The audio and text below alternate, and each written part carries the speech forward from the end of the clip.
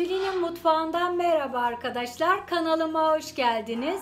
3 kilo yeşil zeytini e, su şişesine koydum. İçerisine bir çay bardağı kaya tuzu ilavesiyle e, suyunu doldurup beklettim.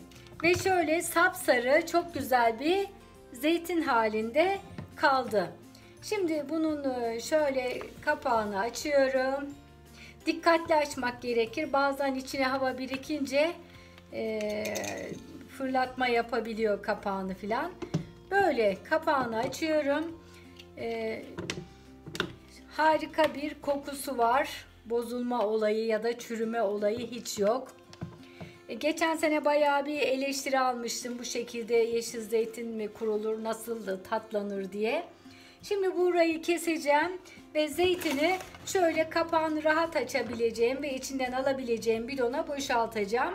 Şimdi şöyle bıçağın sivri tarafıyla suyun olmadığı bir kısımdan kesiyorum.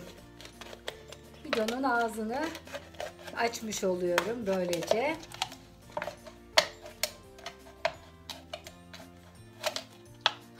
Bu şekilde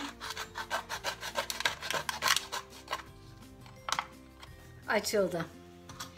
Çok havayla temas etmemesi lazım. Temas ettiği zaman hemen kararabiliyor. Ben şöyle kaşıkla ne durumda olduğunu göstermek istiyorum. Şöyle çıktığında içerisinde harika bir e, görüntü var. Şöyle bir tane tadına bakıyorum.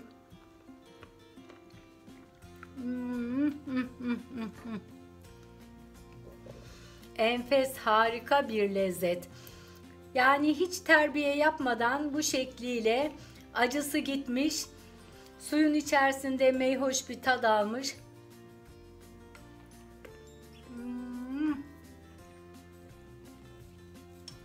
Tuzu filan da çok güzel. Şimdi şöyle alıyorum. Kendi suyuyla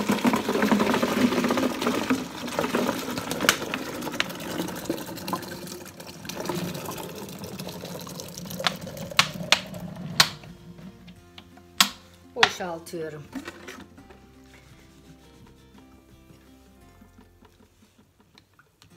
Böyle. Ve bu şekilde suyun içerisinde bozulmadan uzun süre dayanacak. Daha sonra e, yeşil zeytin terbiye etme videomu izlerseniz ekran sonuna link vereceğim. O e, videoda nasıl terbiye edileceğini göreceksiniz. Ve böyle bir zeytin yapmayı sizlere de tavsiye ediyorum. Bu şekilde açıkta da hiç bozulmadan bekleyecektir. Tülin'in mutfağını beğenmeyi, abone olmayı, yorum yapmayı, paylaşmayı unutmayın. Gelecek çekimlerde görüşmek üzere. Hoşçakalın.